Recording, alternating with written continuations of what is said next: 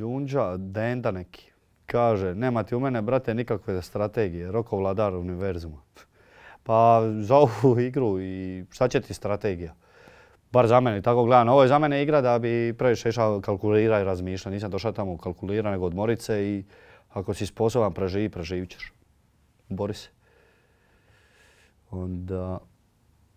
Fort, Fortune Teller.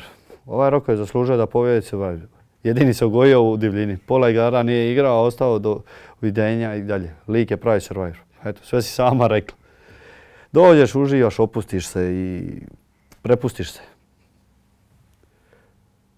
M. Točka. U životu samo treba biti roko, legendica koji nije došao u Survivor da se pati.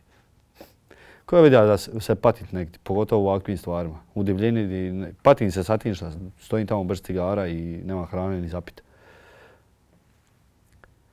I B. Veclar. U početku si me nervirao, ali od kad si na aukciji prvi uzao kafu, kavu, keks, shvatio sam da si car.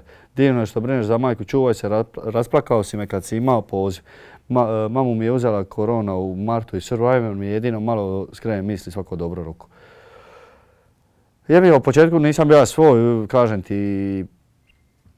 Jednostavno sam bio, išao sam bio ono što nisam i možda sam zato nervirao.